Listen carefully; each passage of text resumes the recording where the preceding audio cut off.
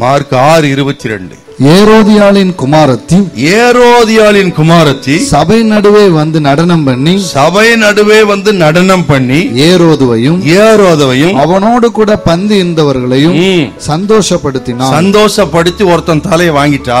ஆக வேதாகமத்துல நன்மை இருக்கு தீமை எதுக்குன்னு சொன்னா இப்படிலாம் இருக்கப்படாது. இப்படிதான் இருக்கணுங்கிறது அதை எழுதியிருக்கு. அந்த மதிகட்ட ராஜா பாருங்க. என்னுடைய ஆஸ்தியில பாதி ராஜ்யத்துல பாதி கேட்டாலும் கொடுக்கறனா பாதி வேண்டாயா தலை வேண்டும்னா அவ. அந்த சின்ன வயசுலயே தலையை கேட்டான்னா வளர்ந்து எப்படி என்ன இருப்பாளோ தெரியல. காரணம் தாயின் வளர்ப்பு. பாவம் அவளுக்கு என்னன்னு போய் கேட்கறா என்னத்தை கேட்கட்டும். தாய் சரியா சொல்லியிருந்தா சரியா இருந்திருப்பா. தலை கேட்டா பாருங்க தாய் தாய் கேரக்டர் சரியில்லை. அதன் விளைவு பாருங்க. ஆக நாம் எப்படி பிள்ளைகளை வளர்க்கிறோம்? அப்படித்தான் அவர் வளர்வார்கள் அதனால பேரண்ட்ஸோட பார்ட் ரொம்ப மிக முக்கியமானது. நம்ம லைஃப் ஸ்டைல பார்த்து பிள்ளைகள் அவர்கள் தாங்களாகவே ஆண்டவரை அறிந்து கொள்ள வேண்டும் ஆண்டவரை இன்னும் நெருங்க வேண்டும் ஜெபிக்க வேண்டும். இன்னும் பரிசுத்தத்தை அவர் அடைய வேண்டும். நீங்க எல்லாம் படிக்க வைக்கலாம் எல்லாம் செய்யலாம். ஆனால் இயேசுவிடம் பிள்ளை வழிநடத்துறோமா? அதுதான் ரொம்ப முக்கியம் நமக்கு. இயேசுவை பாருங்கள். அவர் சிறு பிராயத்தை பார்த்தீங்கன்னா ஆச்சரியமா இருக்கும். ரெண்டு நாற்பத்தி ஏழும் ரெண்டு ஐம்பத்தொன்னு வாசித்து பாருங்க. அந்த சிறு பிராயத்திலேயே ஆலயத்தில் உட்கார்ந்து வேதாகமத்தை குறித்து விவரமா பேசி ஆச்சரியப்படுத்தினார்.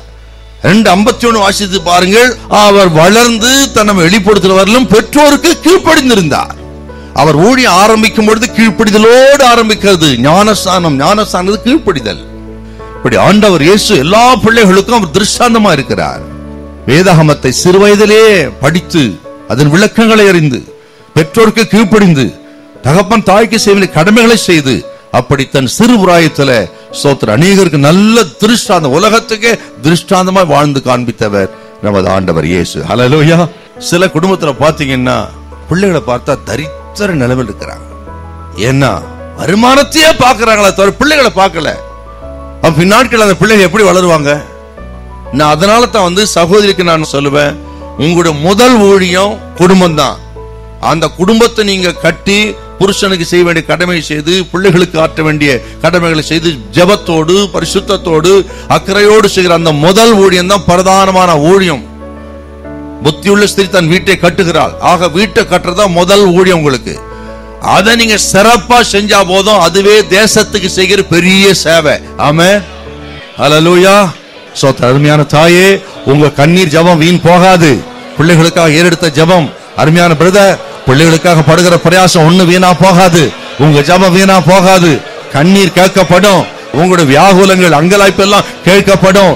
நீங்க ஜெபிக்கிற ஜெபத்தை கேட்டு பிள்ளைகளை தேவன் அதிகமாய் ஆசீர்வதிக்க போகிறார். நானும் என் வீட்டாருமோ வென்றார் கர்த்தரையே சேமிப்போம் என்று சொன்ன யோசுவாவின் குடும்பத்தை போல உங்க குடும்பத்தை தேவன் ஆசீர்வதிப்பா அலலூயா